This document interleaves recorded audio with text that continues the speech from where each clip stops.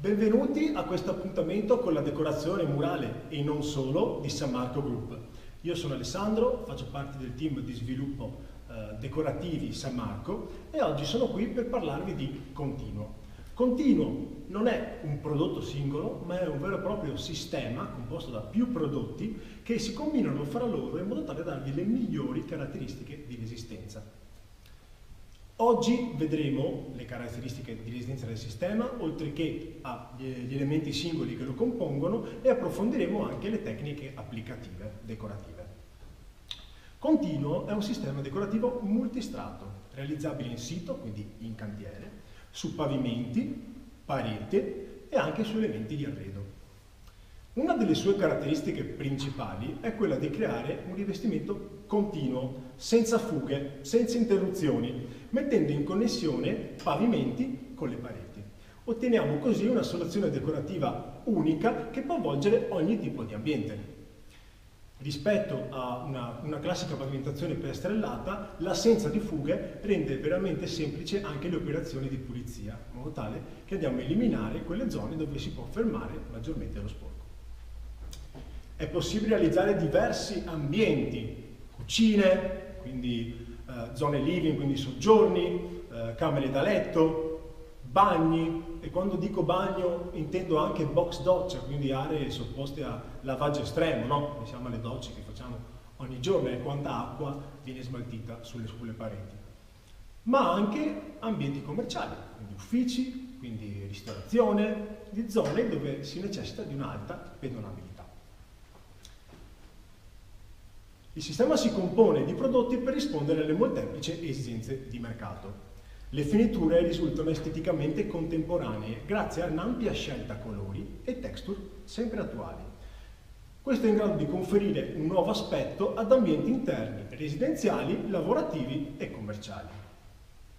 Dietro di me abbiamo un esempio di applicazione, continuo effetto marmo, è un'applicazione elaborata realizzata con due tonalità differenti, nei prossimi video andremo anche a spiegare come è stata realizzata, ma è anche possibile per esempio dare una connotazione differente, quindi realizzare effetti che ricordano il legno, oltre che a forse qualcosa di più classico, come il nostro effetto monocromatico okay, che va a creare superfici sicuramente più omogenee. Quindi abbiamo un'estrema versatilità anche nelle metodologie applicative. Sicuramente una caratteristica vincente è la versatilità di continuo dal punto di vista di superfici di applicazione.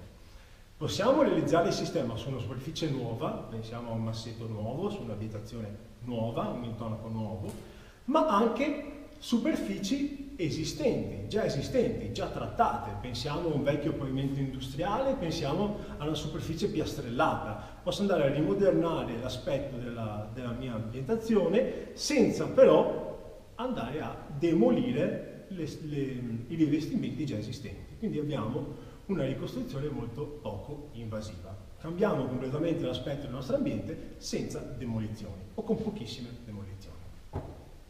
Le prestazioni e le specifiche resistenze dei sistemi continuo sono modulari e destinate a rispondere a differenti stili e tendenze.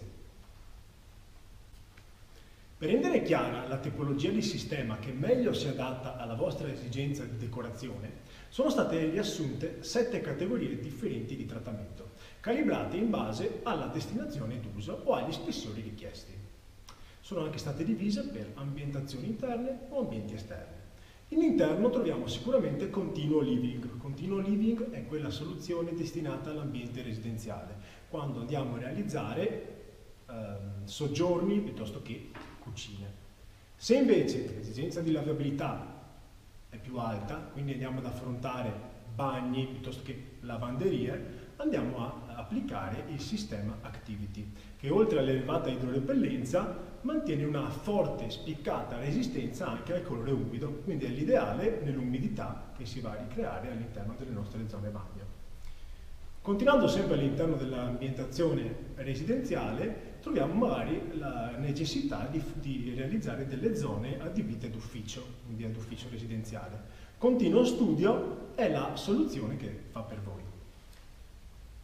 Se incominciamo invece a, uh, ad affrontare uh, ambienti commerciali, quindi adibiti um, a, al pubblico, ristoranti piuttosto che uh, uffici pubblici, questi tipi di aree, l'esigenza che noi vogliamo soddisfare è soprattutto la pedonabilità e quindi ci affidiamo al sistema continuo lounge. Continuo lounge, oltre ad avere spiccata idrorepellenza e pulibilità, è anche consigliato nel caso in cui ci sia una media pedonabilità degli ambienti oppure magari penso anche a degli uffici dove c'è la movimentazione con delle sedie a rotelle e abbiamo una resistenza elevata anche a questo tipo di sollecitazioni.